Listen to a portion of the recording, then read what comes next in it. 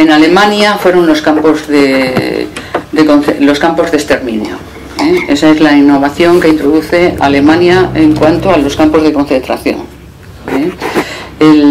por ejemplo, un ejemplo de, campo de concentración que reúne eh, todos los tipos de campo es el campo de Auschwitz, que fue edificado en 1942 y reúne los tres tipos de campo, porque Auschwitz tenía Auschwitz 1, Auschwitz 2, Auschwitz 3 y Auschwitz 4. Entonces, Auschwitz 1 era el centro administrativo, por ejemplo, para ver los tipos de campo que había en administrativo.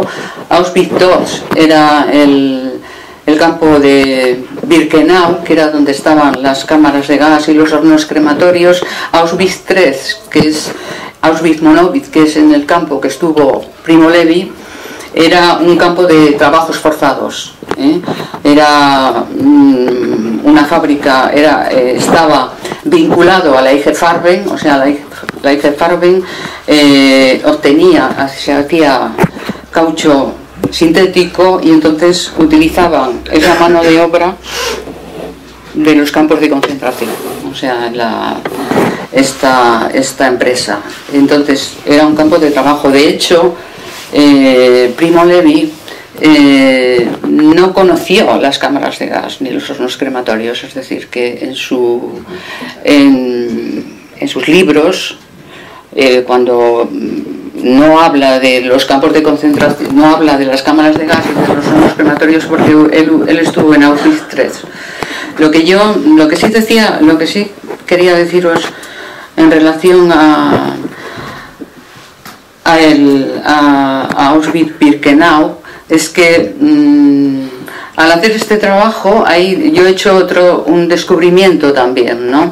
Y es el descubrimiento de las mujeres en los campos de concentración. Ahora que hablamos de campos de concentración, para mí ha sido un descubrimiento porque como he leído, he tenido que leer eh, otros testimonios para poder comparar otros testimonios y comparar con los testimonios de Primo Levi, ¿no? Bueno, y no solamente por eso, sino por, por tener otras visiones, otras reflexiones sobre otras experiencias en los campos de concentración.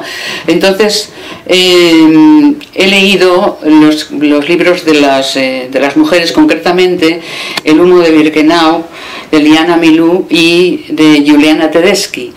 Entonces, mm, realmente, incluso aunque a mí me han impresionado mucho los testimonios de Primo Levi, he de decir que, por ejemplo, el, libro de Liana Milú, El humo de Birkenau, es, voy a decir mucho más impresionante, pero es, es, es, impresionante, ¿no? porque también te da una visión de las mujeres, ¿no? de las mujeres en los campos de concentración que aunque tenían parecidas, o sea, parecidas experiencias, puesto que estaban deshumanizados de la misma forma, de la misma manera, despojados de su, de su pasado, despojados de su pelo, despojados, pero las mujeres tenían unas características especiales, ¿no? Es decir, para las mujeres el pelo, la reproducción, o sea, tenían algunas características diferentes a los hombres y sobre todo esta esencialmente que es la de estar en los hornos al lado de los hornos crematorios y estar al lado de las cámaras de gas ¿no?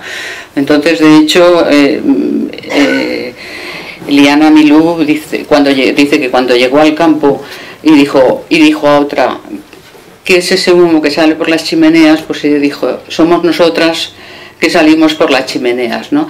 Por otra parte también, eh, si me meto un poco así esquinadamente por la cuestión de las mujeres, es que también hay que reivindicarlas, porque eh, Juliana Tedeschi concretamente, que escribió una donna sobre la tierra, eh, decía, o sea, tuvo, yo lo recojo en mi libro, en Italia, ella hizo una denuncia eh, que decía, eh, escribió más o menos al mismo tiempo que Primo Levi, entonces decía, es que las mujeres, o sea, los testimonios de las mujeres no tienen la misma importancia, es decir, se conoce a Jana Merí, se conoce a Primo Levi, se conoce a Iris Kester, se conoce a todos estos grandes hombres que han escrito estos testimonios, pero mm, a, estas mujeres no se les ha dado la importancia. Ya os digo que de hecho Juliana Tedeschi eh, denunció,